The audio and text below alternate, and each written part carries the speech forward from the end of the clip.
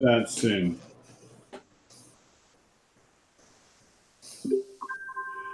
Good morning, good afternoon, good evening, wherever you are. Welcome to uh, Dumb SEO Questions, episode 360.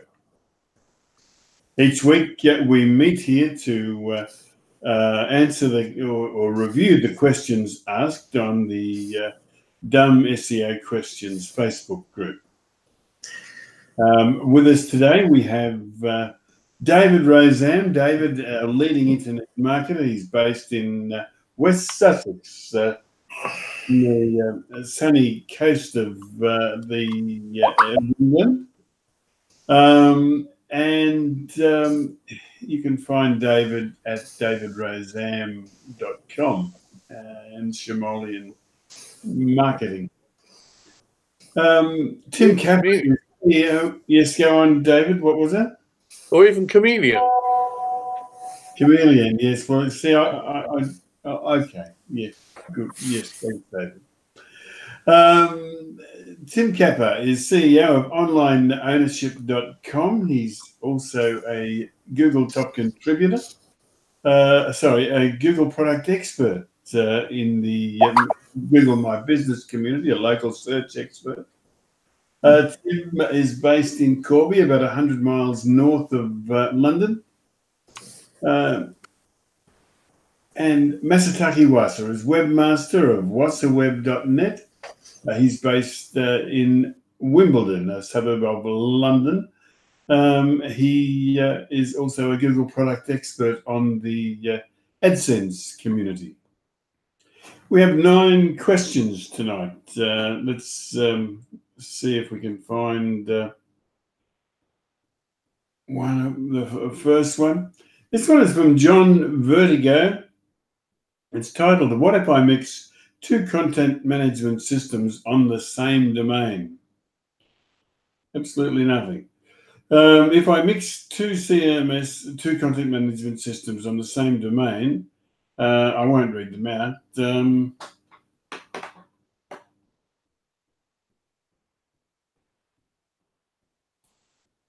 and Michael Martinez, uh, I see, said, uh, no, you should be fine. And he's, uh, I think he's absolutely right. No disagreement? No disagreement. Okay, so let's um, move on to number two on our run list. Um, cross domain tracking with Google Tag, Tag Manager.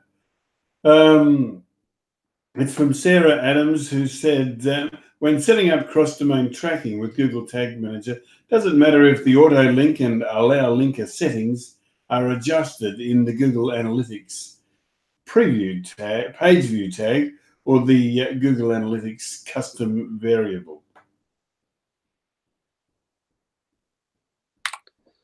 I think I'm going to say something along the lines of Michael. I've got uh, GTM set up on a number of sites I'm um, involved with, but it's a long time since I've actually tweaked anything in it. I think I think you're going to be all right, Sarah, but I cannot guarantee it.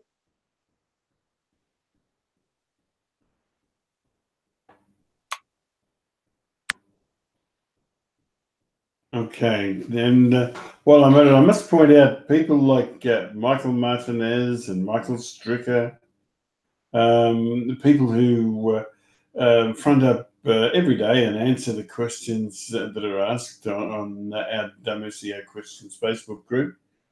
Um, your, your contribution is invaluable and gratefully uh, acknowledged. All right, let's um, let's uh, cover this one off. Let's go to number three on our run list with and without the trailing slash. Chris Green said, uh, Hey guys, one of our sites have product pages. Uh, for example, uh, http full colon slash slash domain.com slash product hyphen name ending with a trailing slash while our category pages don't end with the trailing slash.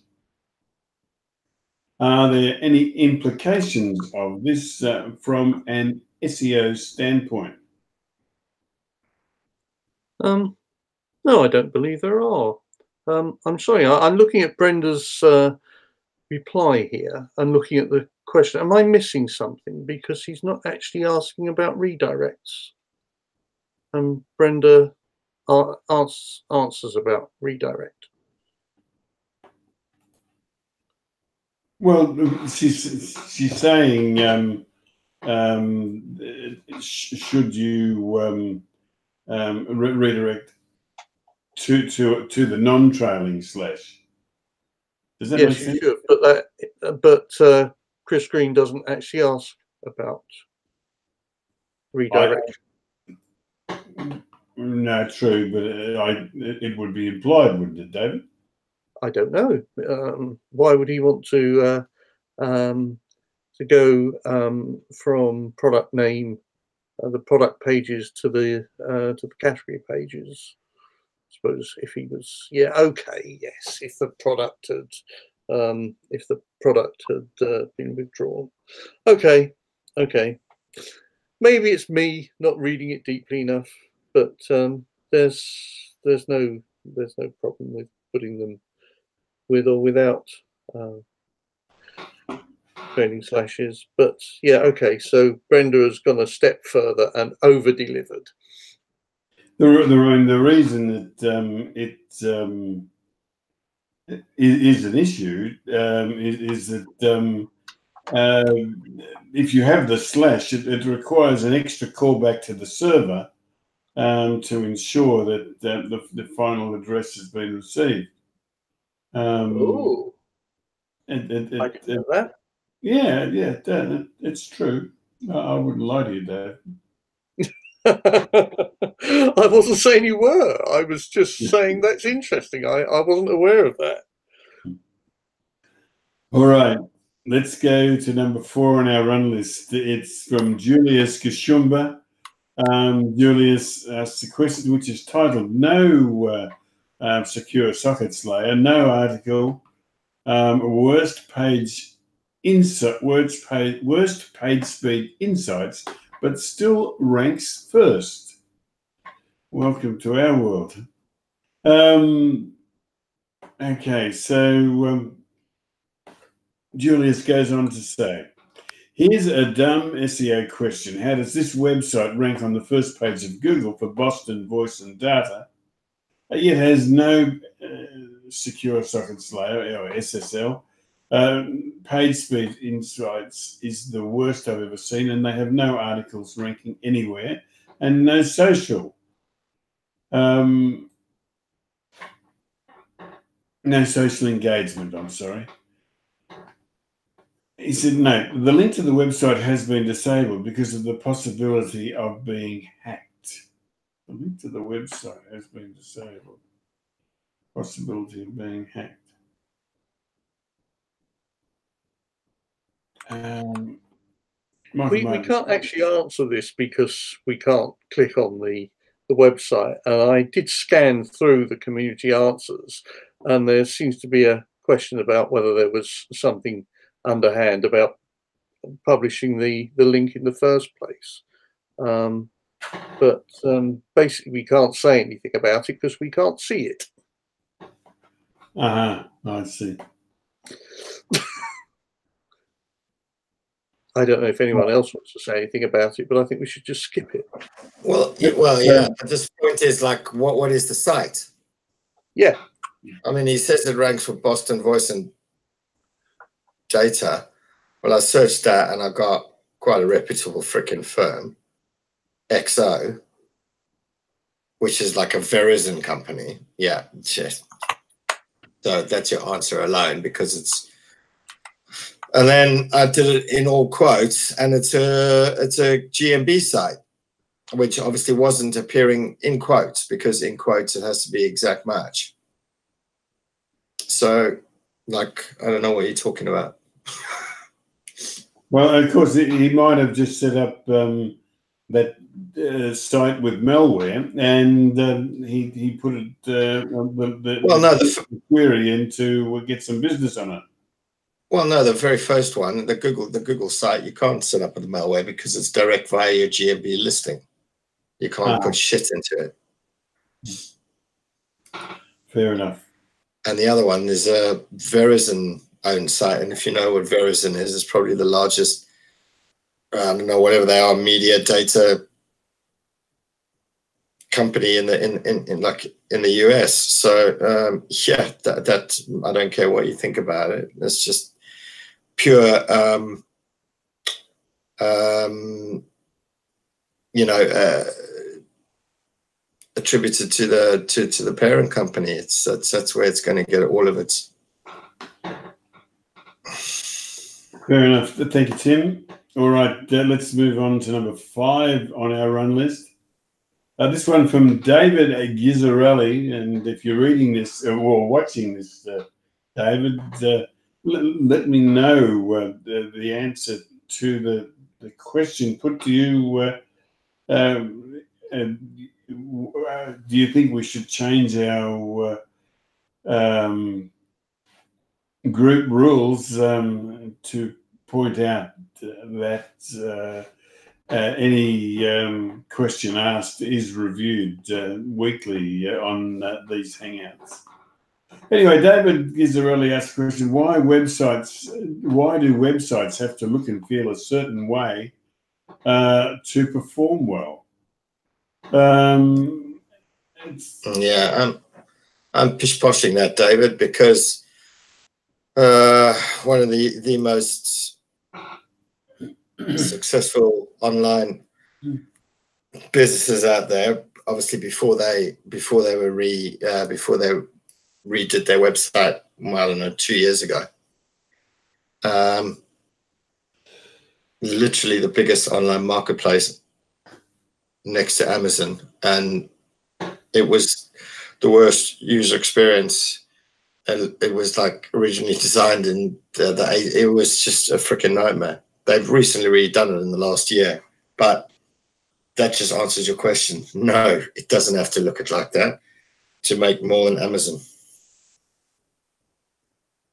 Mm-hmm. What was the site that they redid, Tim? It's that. Um, oh God. Um, uh,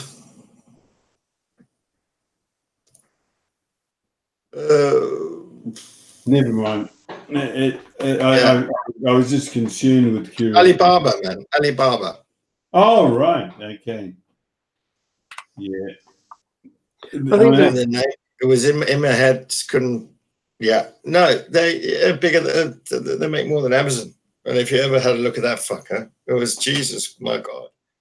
Um, there's that other one. Um, obviously it's not turning over as much as Amazon. This one, ah, God, what is it? Not AliExpress. It's like it's like oh, it's like eBay, but it's not eBay, but um, but it's for B two B. You know, you can buy like a tractor and a you know 400 pallets of yeah oh god what's it called? But same again that that's a freaking nightmare the way it, it works looks and feels. Um, not the dark web tim. No but what i'm saying is it's only it's only i think dave is just making a general assumption based upon what he's looked at.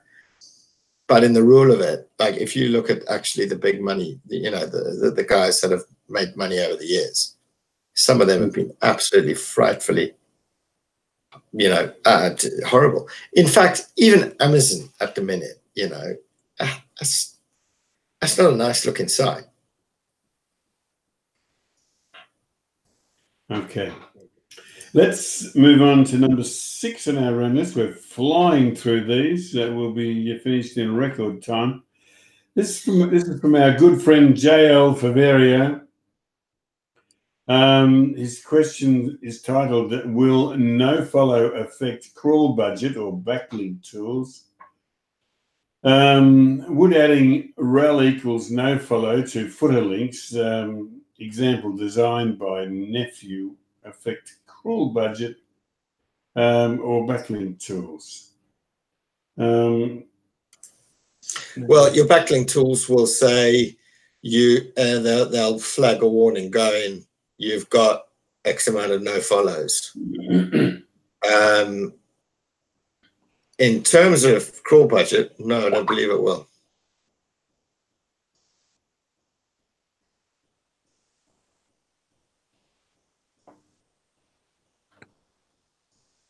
No. Um, no, it, it shouldn't affect crawl budget. Excellent.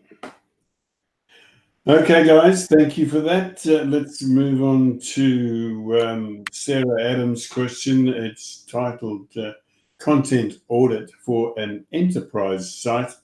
Um, Sarah said, Any recommendations on the best way to approach a con- content audit for an enterprise site? I love Michael Um, Martinez's uh, contribution on this one. Make sure you understand every department's needs and goals.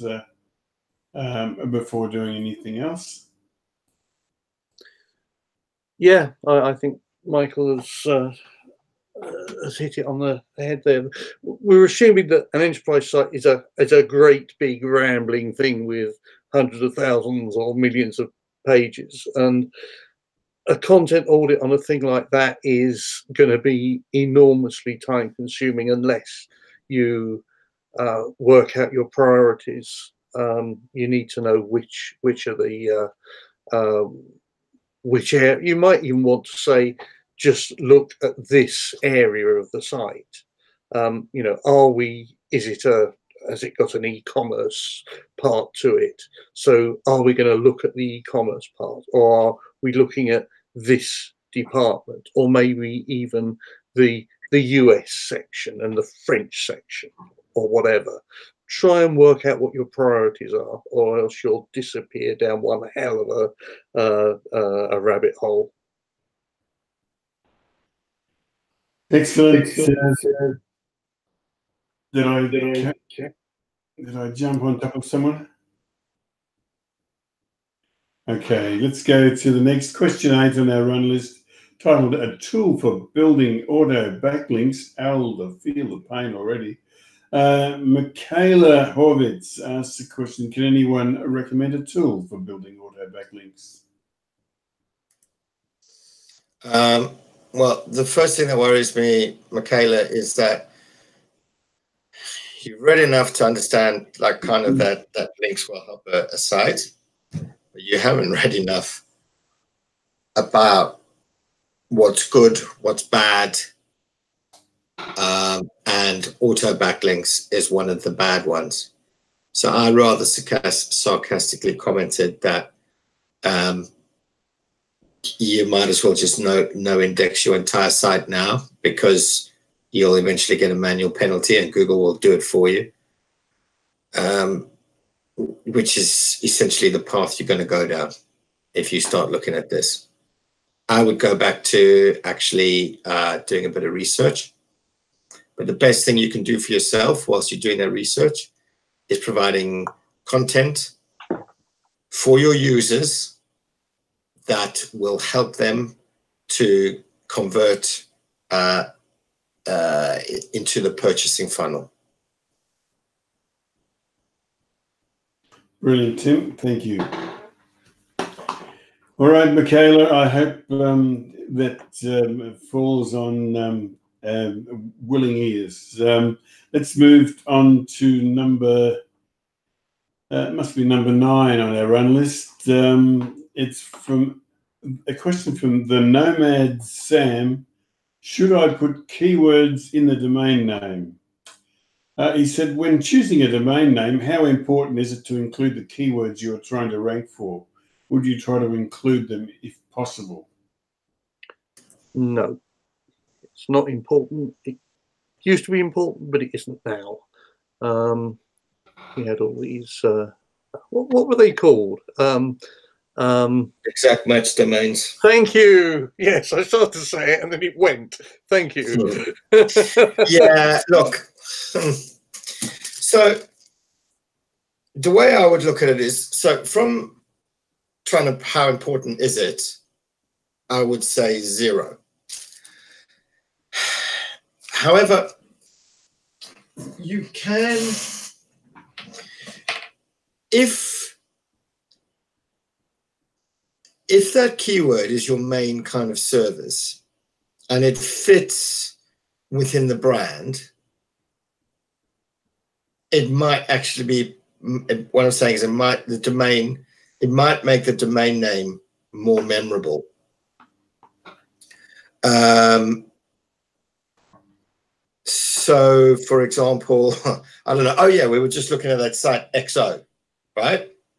So, if, for example, you were doing, I don't know, um, the Nomad Sam. Uh, if, for example, you were doing villas in Thailand, and the the brand was called XO, so I guess it could work saying XO Villas. It might make it easier for people to find you if it's a big kind of thing. Um, they might then search XO Villas, get the exact subdomain that you're working on, you know, within the company or whatever the case may be. Or there might be others called XO, whatever. So it might make sense in, in, in that instance. But in terms of how important, zero. Just work on building your brand. Thank you, Tim.